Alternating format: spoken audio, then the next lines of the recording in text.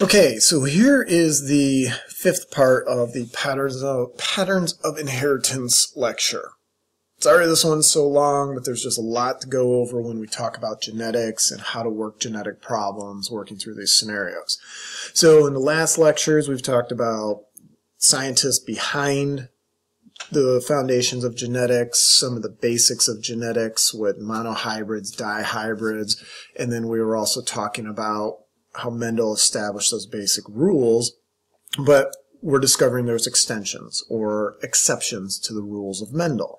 So not that he didn't do a great job, just we're learning new things. Um, polygenic inheritance was one of the extensions. Make sure you guys are comfortable with what that is. There's trying to be a big hint for you here. Uh, pleiotropic examples, you know, what is that? What happens? How does pleiotropy occur? Those types of things.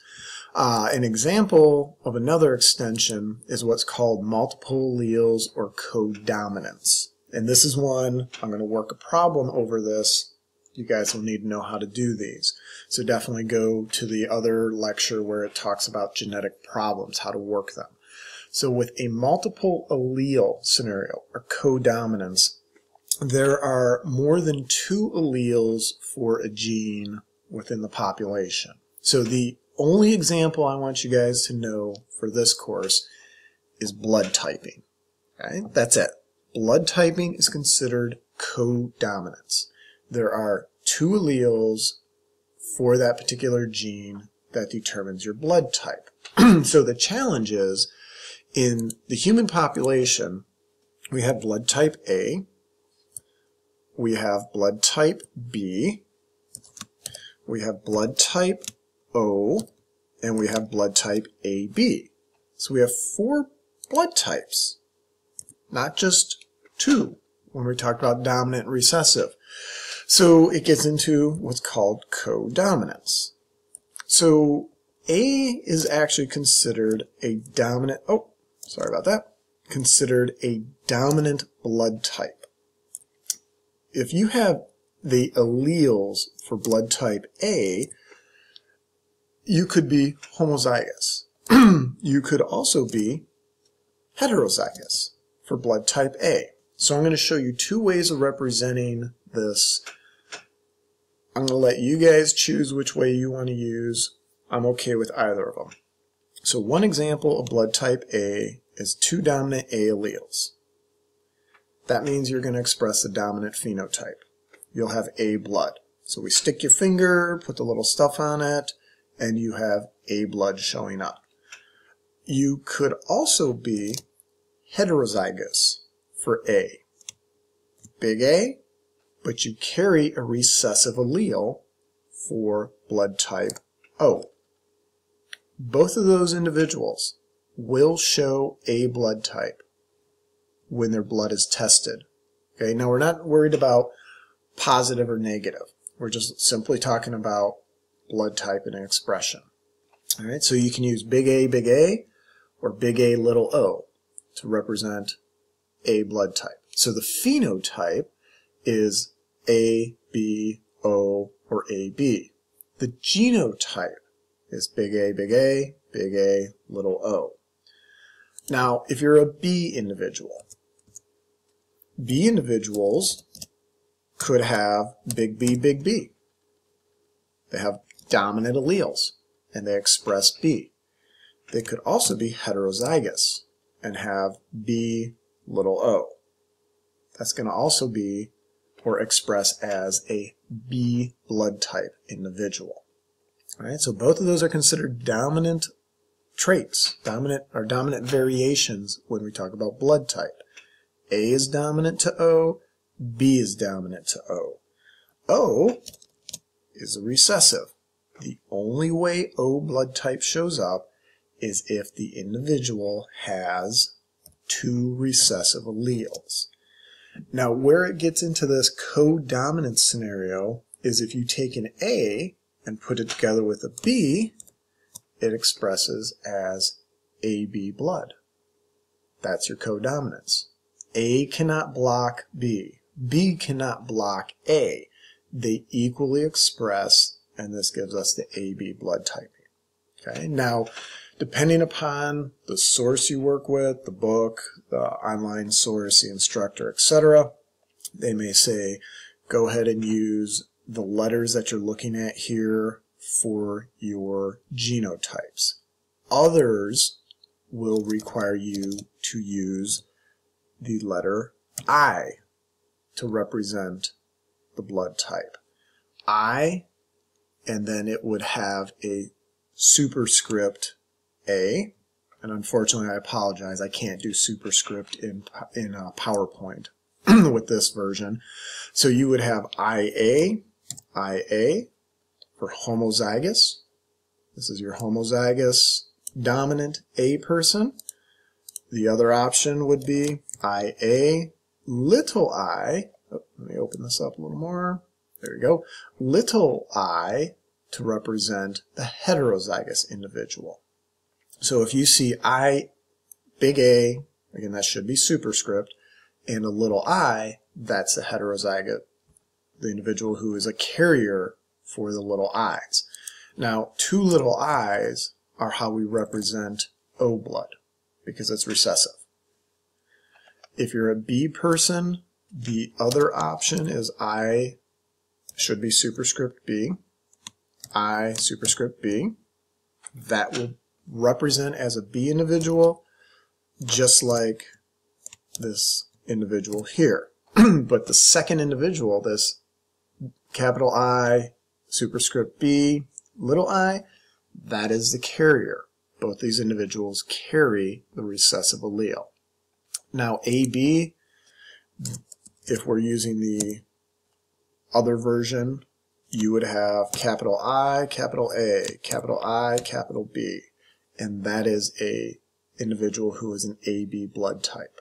Okay, so again, I'm going to work some of these problems out in a different lecture. I'll use either paint or a stylus and actually draw it out and walk you guys through it. But make sure you can do a problem that involves blood typing or codominance. It is the only type of codominance scenario I want you guys to make sure you're comfortable with. It's going to be the blood typing. All right, so that's why I put my little red star in there for you. This is an important type of genetic problem to be comfortable with. All right, so it's an exception to Mendel though. Does not fit monohybrid dominant recessive basic relationships. So again, here's our little chart showing the representation of the alleles. There's our superscript A's. There's our superscript B's. Recessive, lowercase i represents the recessive allele. Two recessives equal the O individual. Okay? And also gives you an idea of who you can donate blood to, who you can receive it to. Okay? So what it is, is it's the genetics here are expressing or producing a particular sugar on the cell membrane. Okay? So that's what we want to keep in mind with blood typing. Okay, here is another example of something that just doesn't fit Mendel's rule. It's called incomplete dominance. This is where you have one trait and three variations. Okay, so incomplete dominance, one trait, three variations. So neither of the variations can block the other one. So in our example here, you have a red flower and a white flower. Red does not block white. White doesn't block red. They both can show up. You can show up as red. You can show up as white. But when you blend their genetics, you put them together half and half, you get a third color, pink, this intermediate. So incomplete dominance. I'll work one of these problems as well on the uh, when I draw it out for you guys as well. So again, another type of problem. Make sure you understand when it is incomplete dominance and when we have incomplete dominance, how do we determine the genetics of the individuals, the phenotypes and the genotypes. Okay? So, perfect example, think about somebody with straight hair, Somebody with curly hair, they have children, they tend to have wavy hair. Wavy hair is the intermediate or the blending of these two variations. All right, so definitely another problem to make sure you guys can work. Okay, so as we continue to look at genetics, what we're realizing is that the environment plays a big role in this. It's what we call phenotypic plasticity. The environment can influence the expression of a given trait. Sometimes it's color. Sometimes you, know, you look at the, the suntan on the feet here, the, the tan lines from all those people with sandals. That's the environment. The environment determines how dark your skin gets. Well, I shouldn't say it determines it, it works with the genetics to express that particular trait. So the cat that we're looking at, this little Siamese cat, and this also works with Himalayan rabbits and a variety of other species, temperature dictates the color of their fur. So when the cat, the cells in the cat's body are going through the cell cycle, spinning through that cycle, and they're creating hair cells, if those cells are at a higher temperature, higher body temperature, they do not produce pigment. The tyrosin tyrosinase is inactive and there's no pigment produced here, so you get white hair. But if those cells are actually cooled down below 33 degrees Celsius, that's the threshold, then the pigment becomes dark. So tyrosinase becomes active, creating a dark pigment. So your tail, your ears, the nose, sometimes the paws are darker because of the temperature influencing what gene gets turned on, what gene gets turned off, how the gene expresses. So in us, we all have pigmentation in our skin, little things called melanocytes. These are little pigment factories. Those things will produce more pigment if they're exposed to sun. And that's what gives us a tan.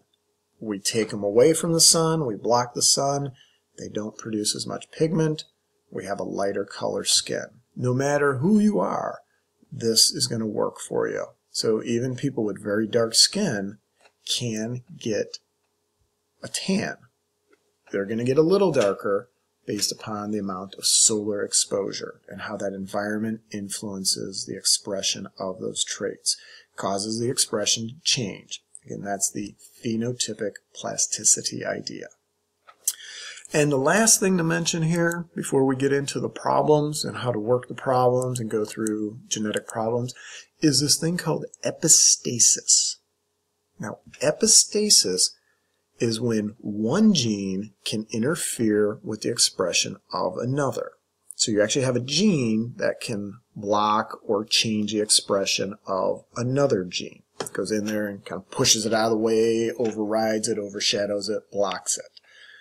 So the great example is looking at color in Labrador retrievers. Generally we say brown lab, yellow lab, chocolate lab. They're all Labradors. They're all the same breed of dog. The difference is in the color of their fur. And that difference is dictated by which genes they inherit and which genes are turned on and turned off based upon the expression of the first gene. So dark fur is a dominant trait, dominant variation. Big E produces dark fur. So big E, doesn't matter the second E. It could be a big E or a little e. That's going to give you dark color. Now the difference between black and chocolate, or we can call it brown, is the second gene. If you have a dominant big B here, and the second B doesn't make a difference, that's going to be a dark pigment that shows up as black. But if your dog inherits recessive Bs, two of them, you have a dark pigment because of the E, but you have a brown fur color because of the two little Bs. Now, if you inherit two recessive alleles, that blocks any pigment production, and that's what leads to our yellow labs. The second gene cannot change the coat color, it just influences the color of other parts of the lab's body.